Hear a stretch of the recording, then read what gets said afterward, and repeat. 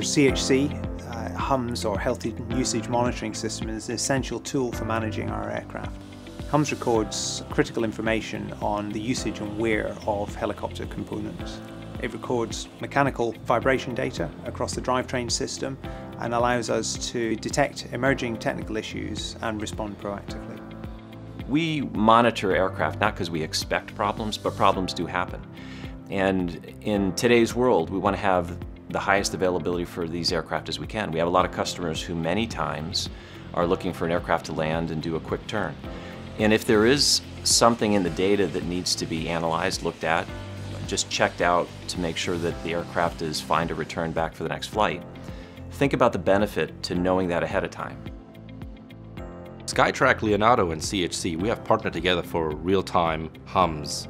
Uh, so what we're doing is in flight, we have loaded the HeliWise software onto the Skytrac ISAT 200A, and we're able to detect in flight threshold exceedances and send notifications to the ground. Previously, the way it uh, used to be is that uh, at each uh, end of uh, the flight of the helicopter, one technician would go on the helicopter and download the data manually.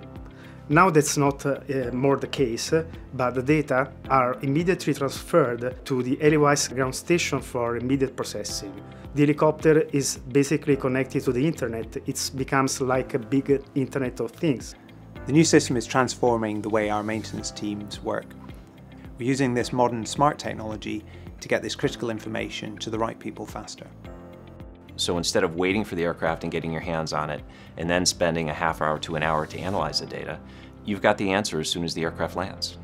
This technology allows us to be proactive, uh, to look at the critical areas of the drivetrain system, uh, to ensure that at any point we have that, uh, that information ahead of time and if there are deteriorating components we are able to then respond accordingly.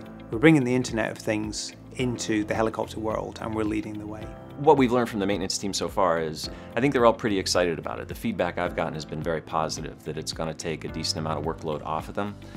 And, but I think more importantly, um, it's, it's the automation of something that used to be a very, a very manual process. So it, it's going to free them up to do other more value-added actions. I'm proud of this co collaboration with both Skytrac and CHC. I think that in this partnership, each of us has put his passion into make a unique solution for uh, our helicopter industry. We're dramatically improving efficiency of process. That's going to improve safety, and ultimately, it's going to improve the service we provide to our customers.